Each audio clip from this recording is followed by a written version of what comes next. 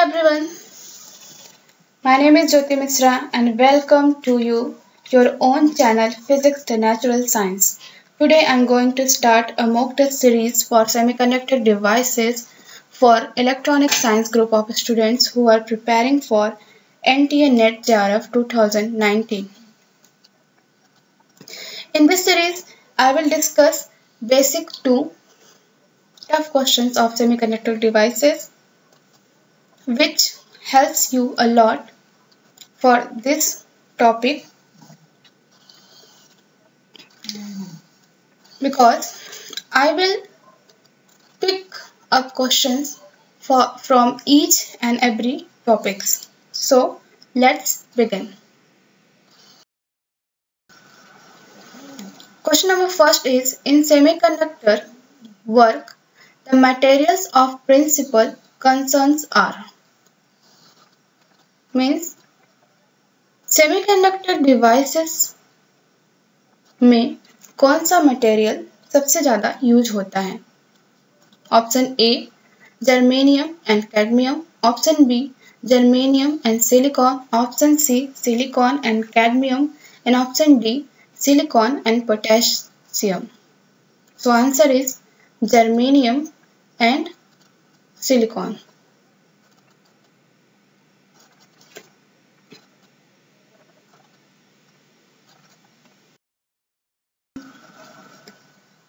Next question is an N-type semiconductor is formed by adding impurity materials. Option A phosphorus, antimony or arsenic. Option B aluminium, boron or indium. Option C cobalt, aluminium or selenium and option D aluminium, boron और selenium जैसा कि हम पढ़े हैं, हमने पढ़ा है कि एन टाइप सेमीकंडक्टर बनाने के लिए हम प्योर सेमीकंडक्टर मटेरियल में पेंटा वैलेंट इम्प्योरिटी मिलाते हैं, जिसकी वजह से एन टाइप सेमीकंडक्टर फॉर्म होता है। तो इसका राइट आंसर होगा ऑप्शन ए, फास्फोरस, एंटीमनी और arsenic.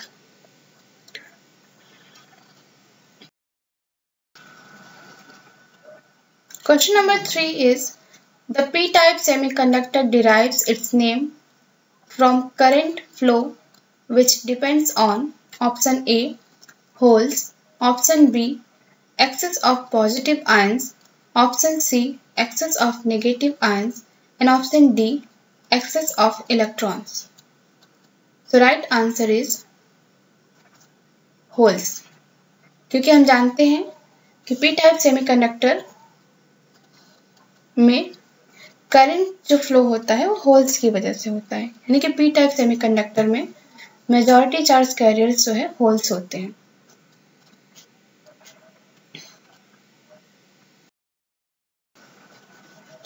नेक्स्ट क्वेश्चन है majority carriers in semiconductors are option A holes in N type and free electrons in P type Option B holes in n-type and p-type. Option C, free electrons in n-type and holes in p-type. And option D, none of these. तो जैसे मैंने last question में बताया कि P type में holes जो है majority charge carriers होते हैं तो यहाँ पे बचा क्या एन टाइप में एन टाइप में फ्री इलेक्ट्रॉन्स होंगे तो इसका राइट आंसर होगा option C free electrons in N type and holes in p-type. अगला क्वेश्चन है minority carriers produced by thermal agitation or vibrations in a semiconductors. Option A holes in n-type and free electrons in p-type. Option B holes in n and p-type. Option C free electrons in n-type and holes in p-type. Option D free electrons in n-type and p-type.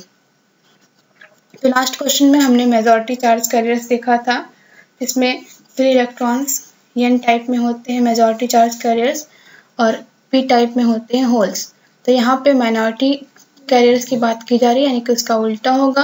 तो यहाँ पे holes जो है N type में और free electrons जो है P type में माइनॉरिटी कैरियर्स होंगे।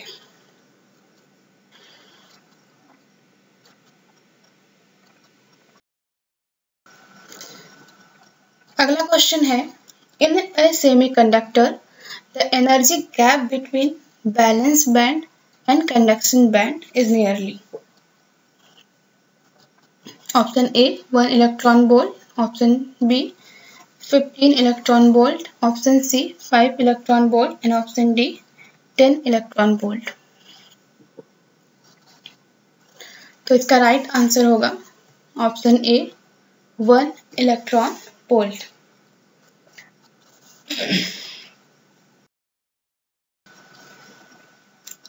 question number seven है in N N type semiconductor the current conduction is due to Option A holes, option B free electrons, option C both A and B and option D none. तो last question में हमने देखे कि N type semiconductor में holes जो होते हैं वो होते हैं माइनॉरिटी कैरियर्स फ्री इलेक्ट्रॉन्स होते हैं मेजॉरिटी कैरियर्स तो जो मेजॉरिटी होंगे, उन्हीं की वजह से करंट कंडक्शन होगा। इसलिए एन टाइप सेमीकंडक्टर में करंट कंडक्शन होगा फ्री इलेक्ट्रॉन्स की वजह से। अगला क्वेश्चन है the addition of pentavalent impurity to a semiconductor creates option A holes option B free electron option C both and option D none तो किसी भी प्योर सेमीकंडक्टर मटेरियल में पेंटावैलेंट इम्प्योरिटी मिलाने का मतलब है कि जो पेंटावेलेंट एटम होगा, उसकी बैलेंसी होगी पेंटावेलेंट यानी बैलेंसी है फाइव जो मेरा, जो हमारा सेमीकंडक्टर मटेरियल होता है सिलिकॉन या जर्मेनियम उसकी बैलेंसी होती है फोर उसकी बैलेंसी फोर और इम्प्योर एटम की बैलेंसी होगी फाइव तो फोर फोर मिलके फोर और फोर इलेक्ट्रॉन मिलके कोवैलेंट बैंड क्रिएट कर लेंगे। बाकी जो एक एक्स्ट्रा इलेक्ट्रॉन बचेगा, वो होगा फ्री इलेक्ट्रॉन्स तो इस तरह से इम्प्योरिटी मिलाने पे एक्स्ट्रा इलेक्ट्रॉन्स बच जाते हैं फ्री इलेक्ट्रॉन्स के फॉर्म में, जो कि मतलब जिसकी वजह से करंट कंडक्शन होता है। तो इसका राइट आंसर होगा फ्री इलेक्ट्रॉन्स और पेंटावलेंट इम्प्योरिटी मिलाने से एन टाइप का सेमीकंडक्टर बनता है। इसमें हम जानते हैं कि फ्री इलेक्ट्रॉन्स जो है मेजॉरिटी कैरियर्स होते हैं और होल्स जो है माइनॉरिटी कैरियर्स होते हैं।